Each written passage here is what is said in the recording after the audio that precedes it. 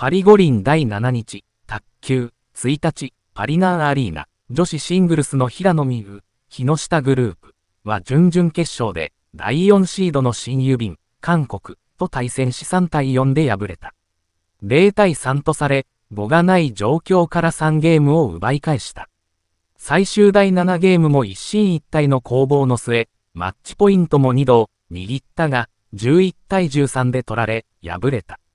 試合後、平野は0対3で負けてる時は、このままじゃ後悔するなと思って、一回服を着替えて、そこから。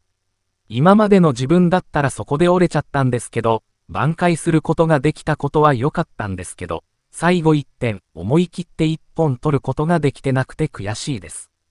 結果は意識しないつもりだったんですけど、チキータが甘くなってしまって。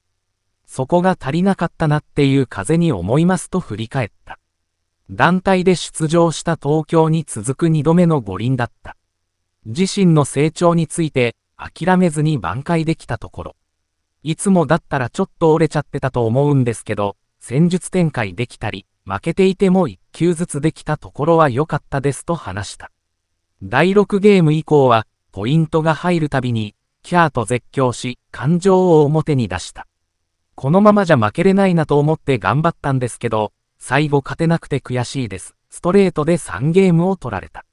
ラリーがいつもよりゆっくりだったり、サーブレシーブで優位に立つことができなくて焦ってしまってたんですけど、あそこが修正できてからはかなり良かったんですけどと振り返った。東京五輪では女子団体で銀メダルを獲得した。シングルスとしては初めて戦いだった。そうですね、なかなか出場権が獲得できなかったシングルスだったので、最初で最後かもしれないなと思って、後悔ないようにやって、後悔はないですけど、出ることできたんですけど、メダルを取るまでには足りなかったので、これは団体戦に活かすしかないなって思うと、次に目を向けた。日本の声援も多かった。たくさんの方が応援してくれたので、すごい力になったんですけど、最後は勝ちきれなくて悔しいです。